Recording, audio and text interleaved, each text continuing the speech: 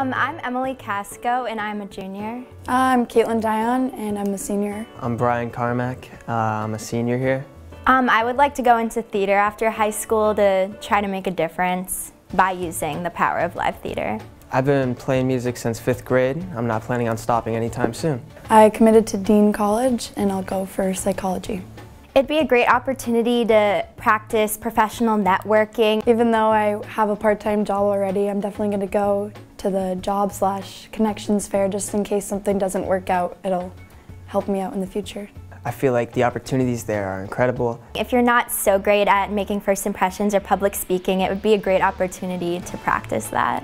And I'm particularly interested in the Ready, Set, Go program because it'll get me prepared to do some speaking to potential employers and really make me be my best for those people. It's so it's just during lunch, so I definitely can finish up my lunch early and just head up there and not miss any school for it. I'd be able to talk to so many different employers all in one place